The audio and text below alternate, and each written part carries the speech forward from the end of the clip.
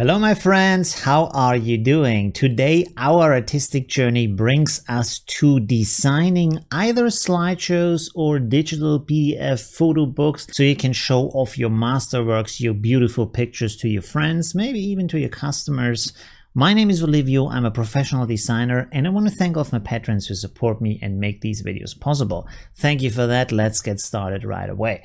So in this video, I want to give you some easy design tricks to make things look good. You see three of the tricks right here on the screen right now. So one of the tricks is to use odd shapes for your pictures. As you can see here, I have created a mask. I will show you in a second how to do that.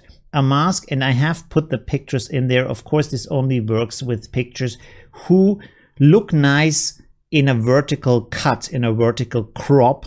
Um, so you can use them. Not every picture can be used like that. You can also pair them in odd numbers, like three, for example, which also looks nice. It has a nice feeling. Another trick that you can see here is that I'm using a pattern as a background. You can get them for free online, especially for personal use. For example, freepik.com is a page where I found these, these designs here. I didn't even alter this one, for example. I just set the layer to color burn so it's getting darker and I will show you in a second how to do that. Don't worry about that. The third trick is that you select a color from the picture and make that the color of the background. So you get more emotion and feeling into the page and it doesn't look as rough. Especially you have these kind of designs pattern in the background which are done by designers so they look great on their own. Okay, so let's go over this design. I prepared by the way three different designs we will go through today. So you can see here if I turn off my mask I simply have this a normal picture. Let's uh, copy this picture here real quick on its own layer bring it out like this.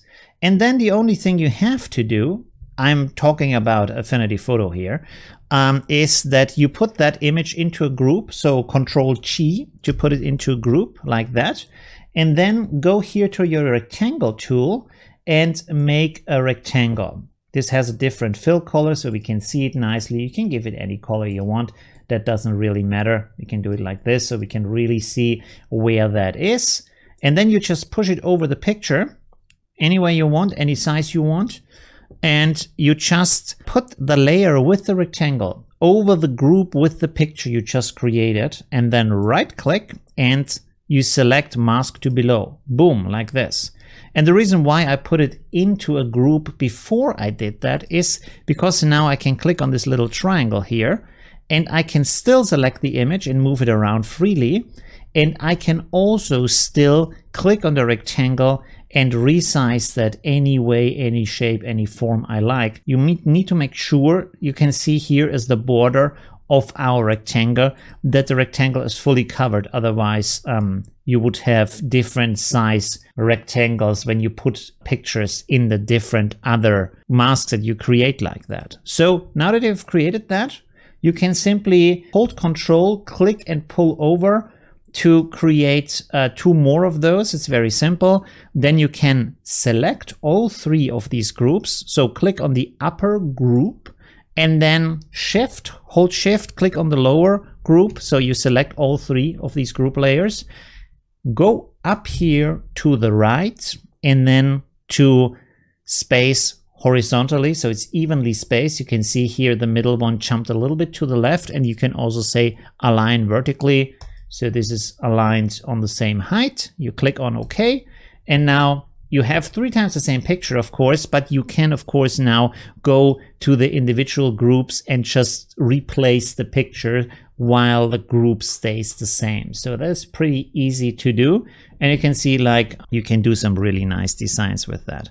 Okay, so now I want to give you an advice about the background, background color. So I have created a rectangle that is over all of the background. Again, of course, take your rectangle tool, just click and drag it over all of the background.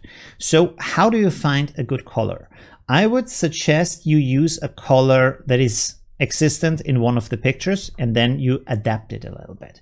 So click here on the fill up here for rectangle. The rectangle layer needs to be selected, by the way. Click here. There you have your um, color picker.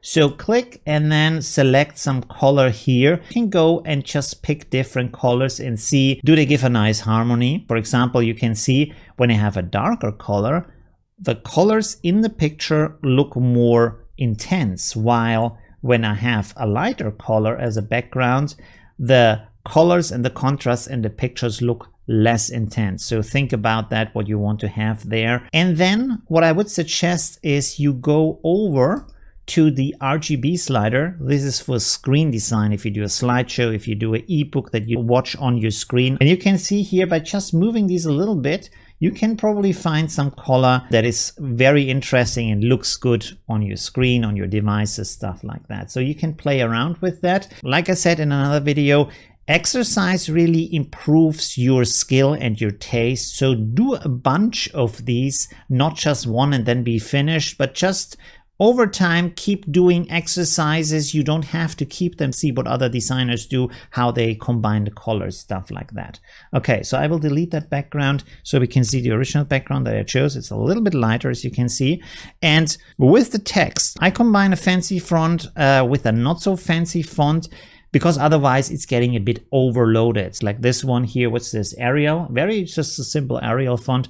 And up here we have kind of these hand painted, hand drawn fonts that I like very much. It's called Ballad Harmony.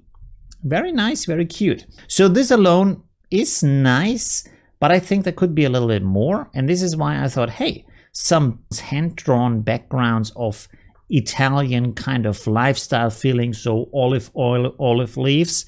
Um, let's just take a design from the internet, boom, and put it in the background. And I didn't even change anything here. So you can see if you look at the original, it looks like this. We can even double click um, to open it up because it's just an EPS file.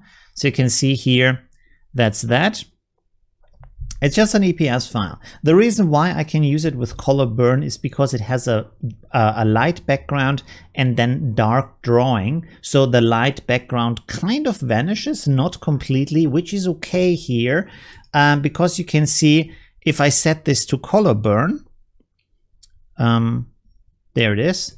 It makes the blue a little bit darker and I get a little bit of a border here between the part where the text is, which is a little bit lighter now, and the part where the pictures are, which is a little bit darker now, which is okay to bring out the colors of the picture. So I didn't have to do anything. Just drag in the EPS file and EPS is vector. So I can resize this any size I want. It's not going to get pixelated. So that's also very, very nice to have. Let's go to the second design. I would say look at some other tricks I'm using here. So you can see this time I have a beautiful picture that I want to show as big as possible. On the left side, we have a little bit of seaside, so I thought, well, we can use that place to maybe add some text. And again, I used some design background from the internet, abstract design, just to make it a little, little bit more fancy, a little bit more cute. This is, by the way, not blended at all. It's just this is the blue that uh, came with the uh, with the design from Freepik. So this is the design, as you can see. Boom, just like that. The blue was already good enough. And I like that it has this kind of radial gradient that is going through the background. So also a nice trick using gradients to make the background come alive a little bit more, look a bit more designed.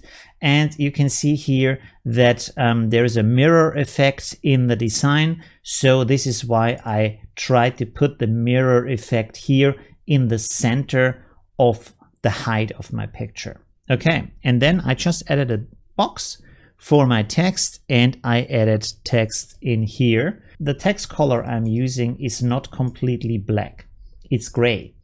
Because you can see here, let's go to um, our grayness settings. If I use complete black, uh, that looks very harsh. It looks very hard and you want it to be like soft and feeling nice and kind of nice to the eyes. Uh, so you can try to soften that by going to gray and see like not too light so you can't read it anymore in a way where you can still read it but it looks nice it looks soft to the eye and cute and then also adjust uh, the other text By the way, in this case, also to point out, you can see the text here smaller, so it means the lines are thinner. So when you use the exact same gray, it can be that the text that is smaller and with thinner lines looks brighter because of the thinner lines. So you maybe want to adapt that uh, click in here and adjust the font color until you're satisfied and you have the feeling that it looks the same. Let's go on to the third design that we have here. I selected a picture that can possibly be used as a panorama. So it's, it's not a panorama per se, but I cut it in the same way I did before,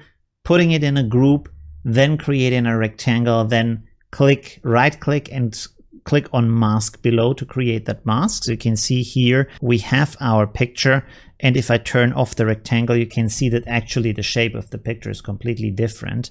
Um, you can, of course, use it full size if you want to. So that's really up to you. The idea here is, and this is, by the way, uh, something you should keep in mind when you take the photos during your holidays. Don't just take pictures of the scenery also take pictures of the details of the things that are happening around you. Think like a person who is doing a film. For example, in this case, I made a little bit of a stripe here. So we have the market, we have the wine, we have some pizza, and you have a panorama of the city, and then you have these little things of what happened during the day as story bits that you can combine in your mind to a film about, oh, okay, this was the first day. You were in a beautiful city, you had some nice food, you went to a market, and everything happens together, and your brain combines it into a story. Again, I used a pattern in the background. This time it's very slight, as you can see here down there. I can make it brighter so you can see it. You can see there's some olive leaves again.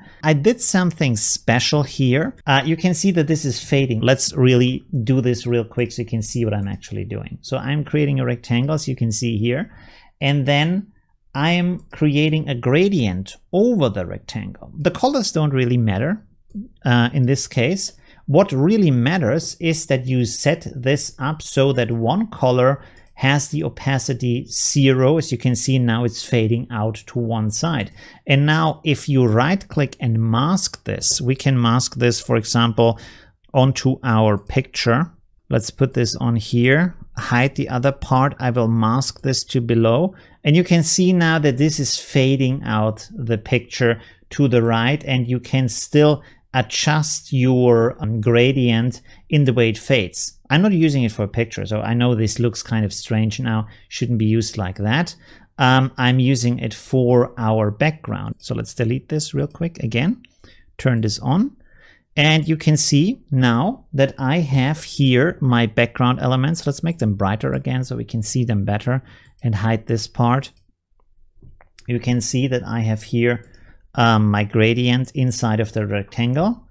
Can zoom out a little bit so we see everything and I can move that around any way I want in any direction I want um, as long as of course the rectangle is covering all of my background you can see I can really um, adjust the design any any way I feel like so this can be a very very nice element to add just a touch of design to the background and not make it too harsh or have any other kind of edges inside of the design. Okay, so these have been some design ideas that you can use. One last thing I want to point out. If you want to print this, you will probably fold the book somewhere in the middle or exactly in the middle.